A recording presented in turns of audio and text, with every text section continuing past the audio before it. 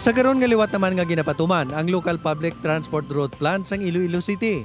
Palamangkutano naman kung ano ang matabo sa mga public utility vehicle na gikan sa kabanuhanan.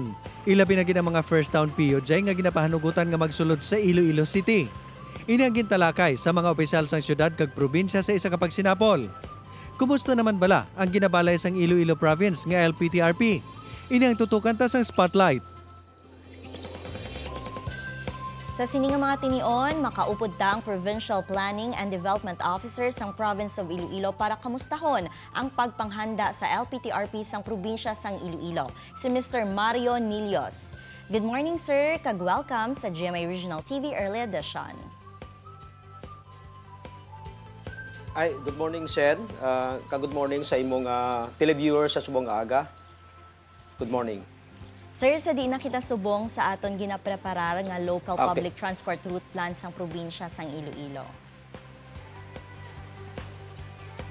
Okay, so uh, sa nahibaluan naton subong, uh, actually ang syudad uh, full implementation na sila sang ilang uh, transport route plan, no?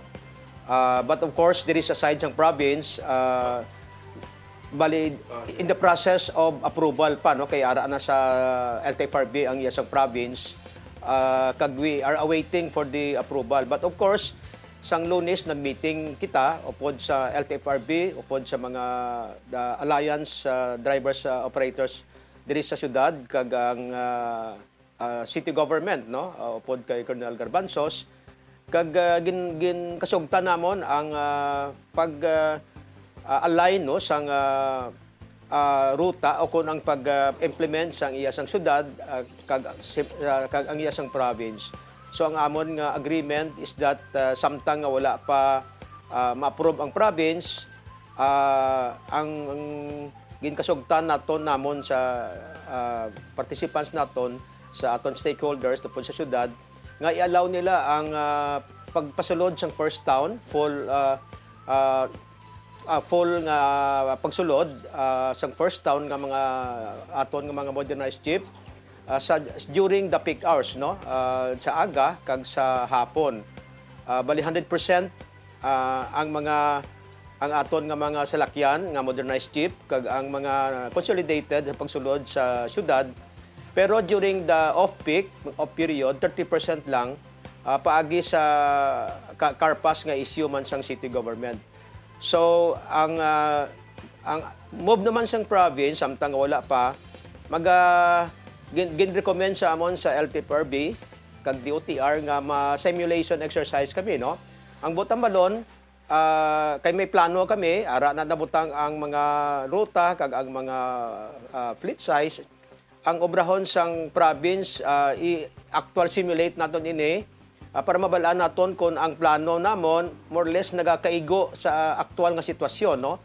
So ang ag- agreement namon sometime uh, first week of February ma simulation kami sa bilog nga probinsya kag uh, kung ano ang amon nga findings ano ang amon nga, nga recommendation amo na ang ibutang namon sa plano no? Kung ang amon nga simulation naga insakto sa plano so wala na kilang land revision pero kung may gamay nga modification iliwaton naton ina kag amo ina ang final naton nga submit sa ah, ah, LTFRB so ang mapasalig lang naton sa aton pumuluyo sa aton riding public nga ah, ah, na istoryahan ini sang syudad kag probinsya Ah, kag ah, may mga agreement kita no? Uh, na. So ang amon nga ang amon nga agreement again is that isa lang kami ka ah, mag-communicate sa aton mga riding public kag mga stakeholders para nga at least ah, kung ano ang informasyon nga ma nga ara sa amon sa probinsya amo man na ang ah, ara sa siyudad sa Iloilo so gani ah ah, ginapangabay lang naton ang mga riding public naton ang mga stakeholders naton no? Uh, paagi kay Governor Toto Defensor nga uh, uh, on the basis of the full implementation sa syudad uh, na istoryahan naton ini no? Sa nga uh, ang agreement naton nga 100% magsulod ang mga first town kag uh, during the peak hours no? Kag uh, 30% during the off peak. Uh, pero of course may uh, ano sila no? May car pass nga ipa issue sa ila sang uh, city uh, traffic management uh, unit. Yes, sir. Kaya ang importante nga makasulod gid ang mga first town jeepneys, no? Sa mga nagabiyahe naman, sir, sa probinsya, kamusta naman subong ang ila partisipasyon sa pagdihon sang LPTRP diri sa probinsya sang Iloilo?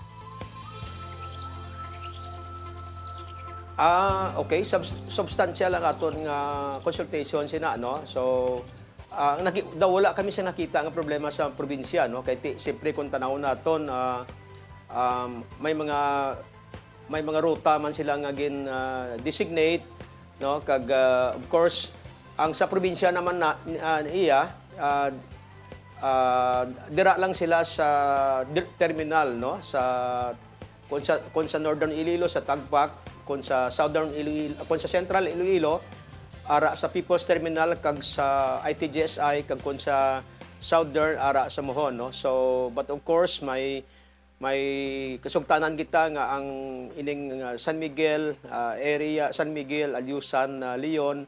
So I think may may agreement kita nga may designated man sila nga nga terminal sa uh, diri sa uh, uh, People's Terminal no? Kag diri sa kag, kag allow sila nga magsulod sa people sa sa festive walk no? Uh, bilang terminal diri sa syudad sang Iloilo.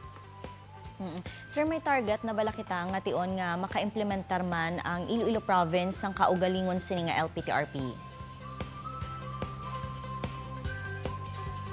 So amo ina siya no? Uh, after the simulation uh, itanaw namon kung uh, uh, may mga changes o kung may modification. Kag isubmit naton ina no sa uh, DOTR kay of course ara man ang LTFRB no nga nagapud sa aton.